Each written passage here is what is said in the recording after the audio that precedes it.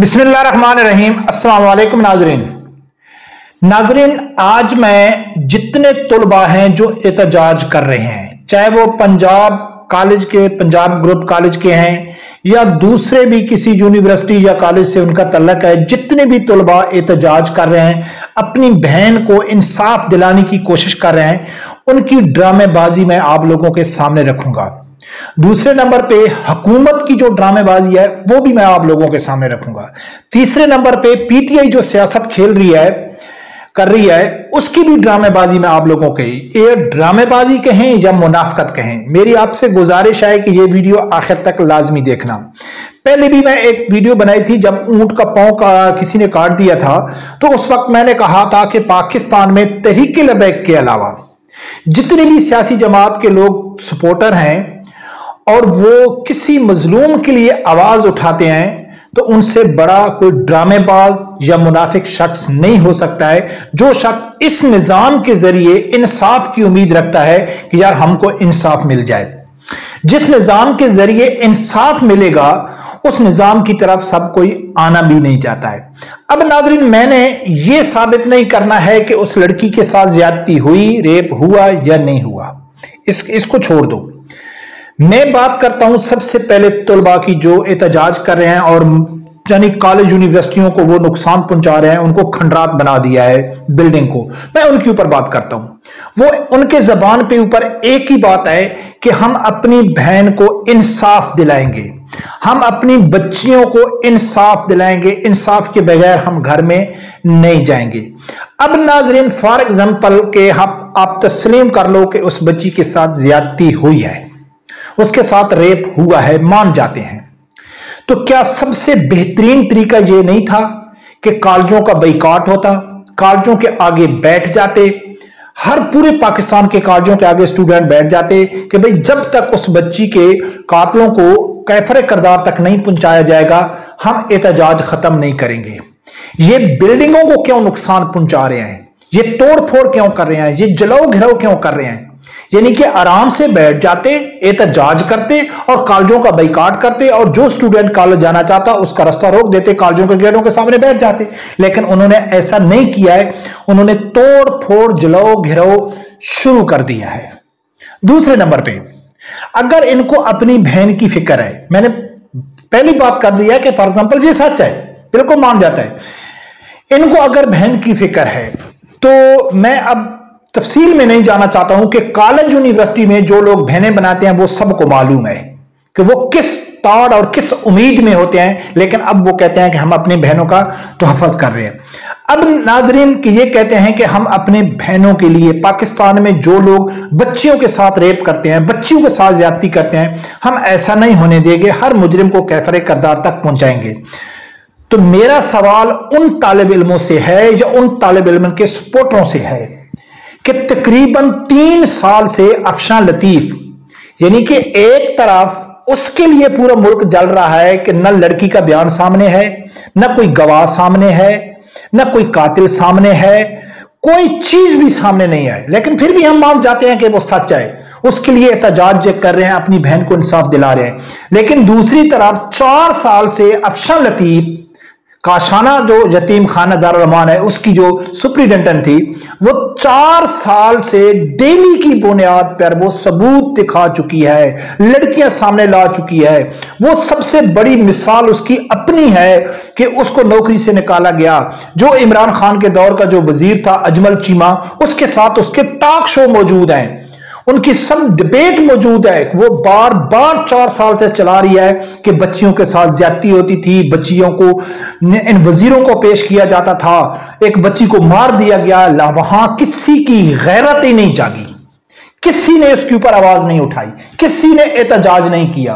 लेकिन इस लड़की के लिए एहतजाज हो रहा है जिसका कोई सबूत भी नहीं मिल रहा है जिसके कोई कोई केस भी सामने नहीं आया। लेकिन फिर भी हम मानते हैं कि किसी की बच्ची के साथ भी ज्यादती होनी चाहिए उसको कैफर कदार तक पहुंचाना चाहिए लेकिन इस मौजूदा निज़ाम में नामुमकिन है।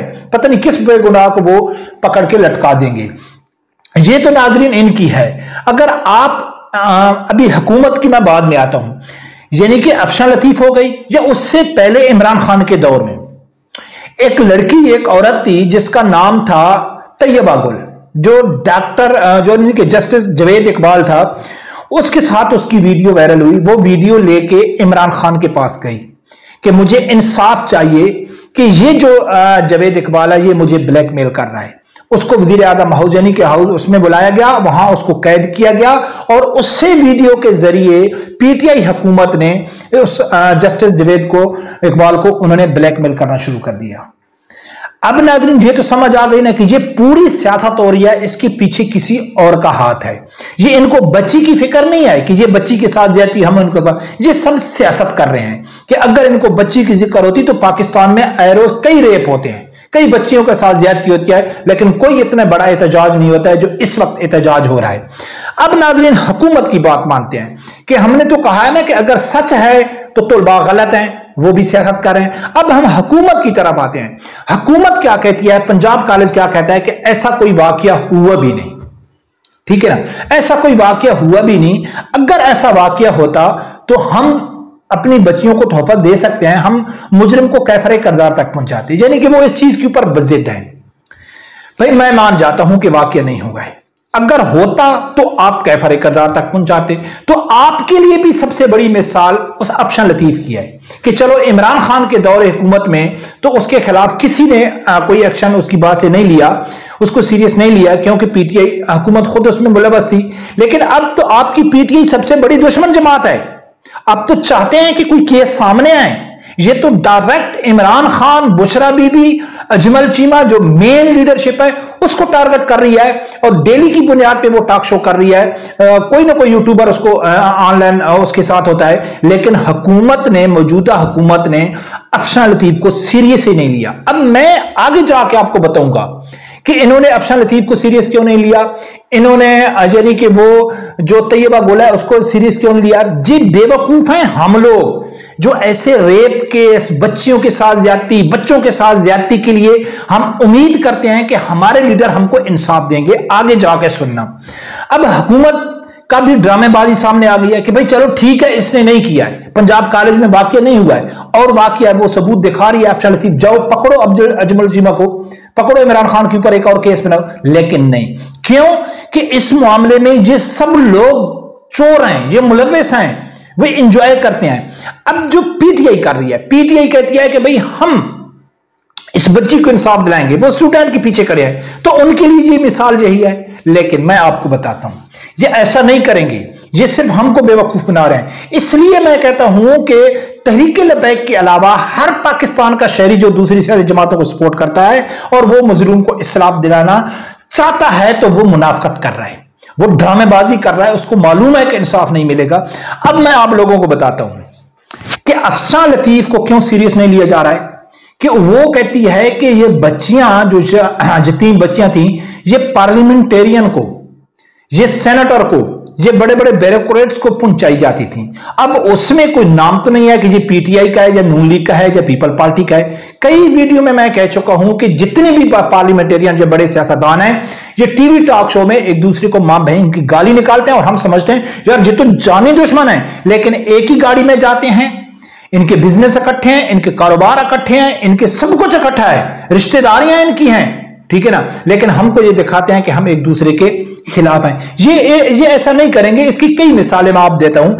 आप अगर मेरा ख्याल है 2010 या 11 की बात है एक सीरियल किलर था जवेद इकबाल। उसने 100 बच्चे का इतराफ किया था कि मैंने 100 बच्चे को कत्ल किया है। और वो किसी केमिकल के ज़रिए तेजाब के ज़रिए वो एक कमरा किराए पे लिया हुआ था और उसमें वो उनकी आ, उनको जला देता था। जब उससे इंकशाफ हुए तो वो कहता है कि ये बच्चे मैं बड़े बड़े लोगों को पेश करता था। जिस्मानी ख्वाहिश पूरी करने के लिए बड़े बड़े लोगों को पुलिस ऑफिसर हो गए, बड़े बड़े ब्यूरोक्रेट्स हो गए, सियासतदान हो गए। इसलिए उसको उधर ही जेल के अंदर ही मार दिया गया, क्योंकि अगर इसने जबान खोल दी, इसने नाम ले लिया तो उसमें सब मुलविस होंगे। जिस तरह अफशा लतीफ के ऊपर कोई कान धरने के लिए तैयार नहीं है। क्या आप इन सियासतदानों को मालूम है? क्या परवेज रशीद की ऑडियो सा, वीडियो सामने नहीं आ चुकी है? क्या डॉक्टर इफ्तार की वीडियो सामने नहीं आ चुकी है जो पीटीआई का जी आप मुस्लिम लीग नून का जुबैर उमर है क्या उसकी वीडियो सामने नहीं आ चुकी है?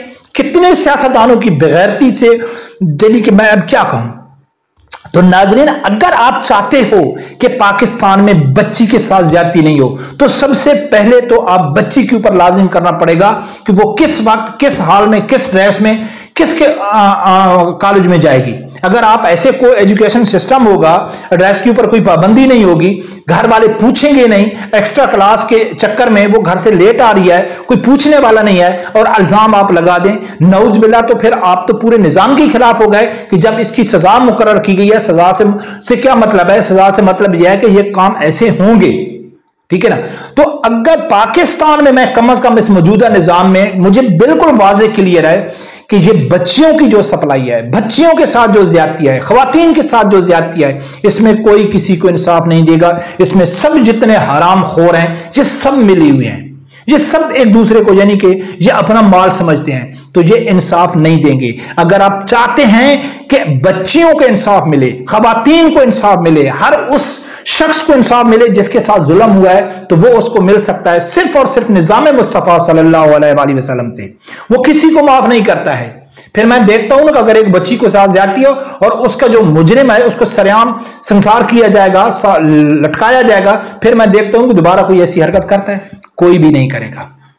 ये नाजरीन पूरी सियासत हो रही है। चाहे उस बच्ची के साथ ज़्यादा हुई है, तब भी सियासत हो रही है। अगर नहीं हुई है, तब भी सियासत हो रही है। और ये ऐसा चलता रहेगा, इसके बाद कुछ और वाक्य आ जाएगा, फिर उसके ऊपर बहस शुरू हो जाएगी। ऐसा हम तो काफ़ी अरसे से देख रहे हैं कि ऐसा कोई ना कोई सान्या होता है, ऐसे लगता है कि इनकलाब आ गया है। लेकिन तीन चार दिन के बाद फिर खत्म हो जाता है, फिर कोई आ जाता है और इस तरह हर आदमी अपना टाइम पास कर रहा है। लेकिन हकीकत की तरफ़ कोई जाना ही नहीं चाहता है। जहाँ मसले का हल है, वहाँ कोई तवज्जो भी नहीं करता है कि असल जो मसले का हल है, वो है निज़ाम की तब्दीली। शख्सियत की तब्दीली से पाकिस्तान में फ़र्क आने वाला नहीं है। जो आज ये हुकूमत काम कर रही है, इमरान खान की हुकूमत में, अगर इससे ज़्यादा नहीं थे तो इससे कम भी नहीं थे। जो उससे पहले पीडीएम की हुकूमत थी, इससे पहले पीडीएम या इमरान खान, या नवाज़ के पीपल सब दौर में ऐसा ही है। एक ही चीज़ हमको दिखाई गई है कि पाकिस्तान बर्बाद हो गया, पाकिस्तान एक अहम मोड़ पे खड़ा हुआ है, पाकिस्तान में जुल्म पड़ रहा है, पाकिस्तान में महँगाई पड़ रही है, बच्चियों से ज्यादती हो रही है। आए रोज ये वाकई होते हैं। लेकिन इसका जो हल है ना, वो नहीं निकल रहा है, और इसका हल जो है, वो सिर्फ़ और सिर्फ़ निज़ाम मुस्तफ़ा सल्लल्लाहु अलैहि वसल्लम। उसके अलावा बिल्कुल बेफजूल है इसके ऊपर बहस करना कि मौजूदा निज़ाम के ज़रिए किसी को इंसाफ मिलेगा। रब परवरदगार से यही दुआ है, अल्लाह ताला मेरे समझदार आदमी को हक साथ सुनने की और उसके साथ खड़े होने की तोफीक फरमाए। अल्लाह हाफिज़।